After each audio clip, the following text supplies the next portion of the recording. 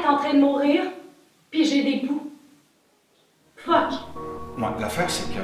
C'est que quoi? C'est rien de grave. C'est juste qu'il va y avoir. euh, sûrement y avoir du monde quand on va arriver à la maison.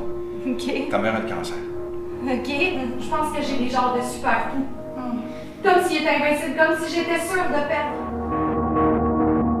Je comprends pas, ils sont partout, partout sur moi, dégagez, laissez-moi tranquille! J'ai peur de vieillir.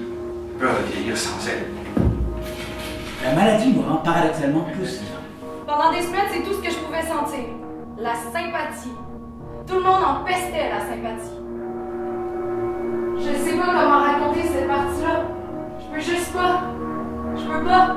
Mon père disait toujours à ma mère, sont malades en même temps, parce que tu les habillais toujours pareil quand elles étaient petites. Tomber malade ensemble. C'était la seule chose qu'on faisait ensemble. L'hôpital, ou même chez elle. J'ai attendu. J'ai attendu que quelqu'un me le demande. Je suis capable de faire ça! Je, je ne sais comment les faire partir, ils vont jamais s'en aller!